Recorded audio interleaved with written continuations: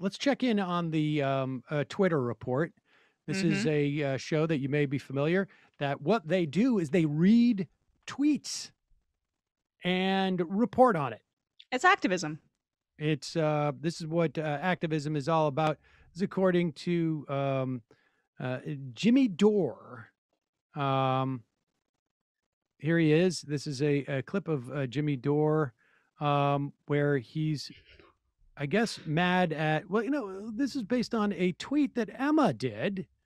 Um, and Emma, what was the uh, nature of the tweet? Why don't you tell us what it was? I guess I was just um, responding to these protesters who were outside of Ocasio Cortez's office. You know, not outside of Nancy Pelosi's office or even Pramila Jayapal, who chairs the Progressive Caucus, uh, but outside of AOC's office. Um, it's kind of a, a, the force the vote crowd.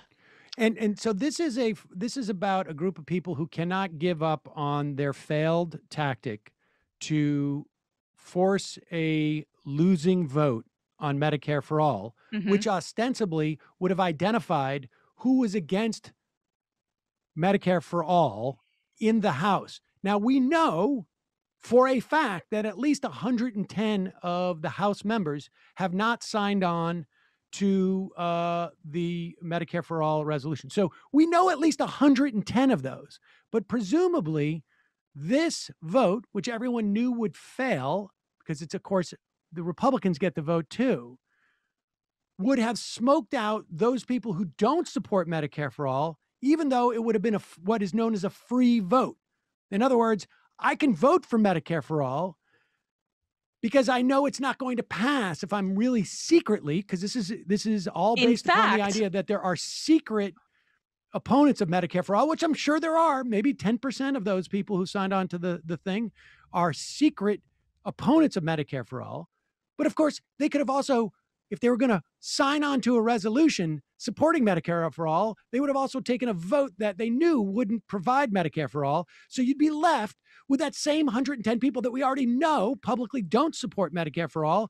If you want to challenge them, In fact, it would muddy the waters more because people could take symbolic votes, as you say, and we might not know that when it came down to an actual vote down the line, they would not be able to. Uh, But they, let's they- say it worked would be- exactly like Sure, they, they thought sure. it would. And we find out that there are 115 members of the 220 some odd uh, uh, uh, Democratic caucus who are not supporters of Medicare for all. Presumably at that point, they're going to be primaried. And since we already know 110 of those, I wonder how many of these activists have started to fundraise or identified or develop the apparatus in which to primary these people. They're going to do it outside of the Justice Democrats because they're sellouts too. Well, they have like anti-vaxxers speaking at this rally, so it's it's. well, it's- that's yeah. this is we're not even there yet. So Yeah. they're going and protesting in front of the at least most vocal advocate who would have surely voted for Medicare for all in this losing vote that would have never been even uh, taken up in the Senate. And she's not in leadership and doesn't have the ability to spearhead many of these things. So yeah, any rational human being who doesn't believe this is about performance, who actually believes it's about like there's a theory of change behind this, would say those are people who don't really know, like are are completely don't even seem to care about strategy or tactics. It's all performative. Well, I mean And that's that the problem with the- that's the problem with force the vote is it turned an opportunity to leverage Pelosi, which we all agreed needed to be done, into a narrow demand for a vote like that's pointless for the reasons you're talking about that just serve propaganda purposes for a 2022 primary. Primaries that they've shown absolutely no um, no interest in in, in, in building an institution to uh, deal with it or Yeah. whatever. it's about it's about going after the squad for Yes, views. So let me just, let, let me just say Like- this: like the only problem I had with Emma's tweet was that she called it a red brown alliance. This is a green brown alliance, and the reason they don't identify as greens anymore is because the question, uh, when posed as yes, the squad has limitations. What have you built actually? Like besides these like presidential like uh, great that you improved on Jill Stein as a candidate, you actually haven't taken. If it's so easy to force this stuff with four people in Congress, maybe you should have taken those four seats. exactly. right. Well, Exactly. the, the, but like but the- where is the green party or whoever they want to call them the people you know, the PPM or i- i- if they still exist, if they haven't That's what this is. Yeah, this what that's Um, what this is. if they haven't imploded, where's their where where are their candidates who are running for Congress? And why don't we all know about them at this point? Are they fundraising for these people? Have they created an apparatus for them? I mean, likely they're- Because they if it like only they'll- takes four votes, then they should.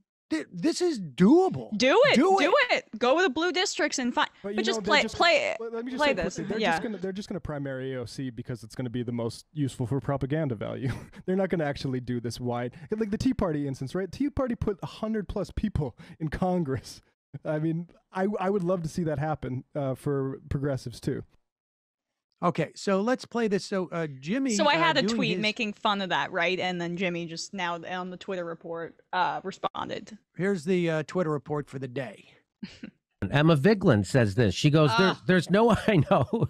When you Oh, when you grow up rich in a cul-de-sac, you find you, you find pretty words to shit on people who are actually fighting for things. When you Pretty grow up super rich in a cul-de-sac and your parents are corporate lawyers, shit libs." And you've had every advantage handed to you your whole fucking life. You're never. When did she ever fight for anything? Never. Again, people who are sitting at home on their fucking millionaire asses, it, never doing Let's fucking clear. anything. Pause Before- it. Before Jimmy Dore was given a job at TYT, right around the same time that Emma was given a job at TYT, he had done one of the millions of stand-up specials that Comedy Central do that are literally the most disposable garbage things in the world. I think people are aware that I have many friends who have been in the stand-up world. Um, I was never particularly in the stand-up world so much. I was more stand-up adjacent as it were. I performed it a bit, but I was never really a working stand up per se. And to a person, these people tell me, like, yeah, no, I don't know. It was some type of like just road comic, sort of didn't, uh, I mean, nobody thought it was funny. Um, and TYT successfully um, built his career, built his channel, hired uh, Jimmy, just like they hired Emma. So I'm yeah. not sure. By the way, I, I I don't know what. Right. I was uh, th- my my parents, uh, which if they're shit libs, which you know, like yes, they my mom my mom has you know done fundraising stuff with Kirsten Gillibrand. I was open about that.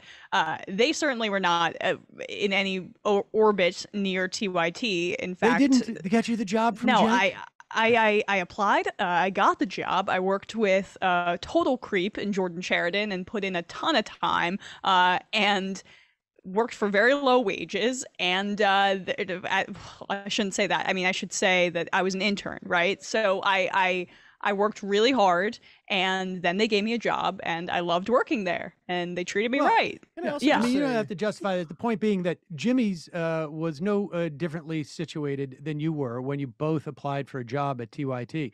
He inherited uh, the channel they built for him. But let's hear his insight here on And the I, Twitter I just want to make one point about like attacking activists, which you look at the way Jimmy Dore attacks the Medicare for All activists, uh, like DSA people that were actually doing this when he was busy supporting Tulsi Gabbard uh, in the primary. Um, he loves attacking activists. This is all about attacking the real activists. And is Jimmy supposed uh, uh, uh, an activist, or just he's just mad that the protesters out in front of AOC's thing? There is no there is no useless protest. And look, Jimmy gave away the game here on uh, Tucker Carlson show. He sees it as a negative that there are progressives in the Democratic caucus because, according to him, it gives the uh, people the false sense that that there is an opportunity to grow that uh, progressiveness and to have the Democratic Party do something. And of course, he's talking about Medicare for all. Let's just be clear Medicare, Medicare was something that was passed by the Democrats. I'm not saying that this is the same Democratic Party, but the point is, is that yes, it's conceivable that we could get to a place where there is an expansion and then ultimately a Medicare for all with the Democrats. Is that happening now? No. The leadership clearly is against it. There's no doubt about it. But they're Right. sclerotic and they're old, and it may be different. So we have a new crop. But Jimmy is more interested in the People's People's Party um, that exists as an email list essentially at this point because they promote him. But continue. Right. fucking millionaire asses never doing fucking anything. Anything. Ana Kasparian sitting in her $24 million studio telling, wagging her finger at other people who are actually out there pressuring politicians. Pause it for one She second. says there's Am no I understanding of? But did Jimmy not get paid? I mean, they keep talking about these twenty million dollar investment at uh, TYT. Yeah. What what paid Jimmy for five years? Yes, exactly. I mean, it's interesting. Like Where he was didn't bring his it. He, he didn't bring It was any the of same this. freaking studio. It was the same studio. He didn't bring this up at the time when he was working there and taking the money. But That was uh, smart. And, and another thing which is interesting, um, like he talks about how, oh, what are you doing? You're just sitting in your studio. I, he, he's very cozy in Fox News' studio, and he's very cozy going to Joe Rogan's studio to talk and not go out there and interview what is people. it exactly that this guy did? He went Bef- and gave a speech. Before I worked uh, here, before I worked here, my job was to be on the road on a weekly basis talking to people. I went to a variety of Trump rallies. I went to a variety of activists um uh, you know, uh, demonstrations from the left and the right. Uh, I spoke to people who were poisoned in rural communities in Delaware by their water source and were suing uh, a chicken processing plant that was near there. I went to uh, eastern Tennessee and rural areas to talk to different activists there. So, like, I, I- I'm not exactly sure what he's done that's a little bit more on the ground than me. Oh, he does live shows. That, that Right. He does, he does yeah. live shows in comedy clubs, and that's the way you pay for a two million dollar uh, home. But continue.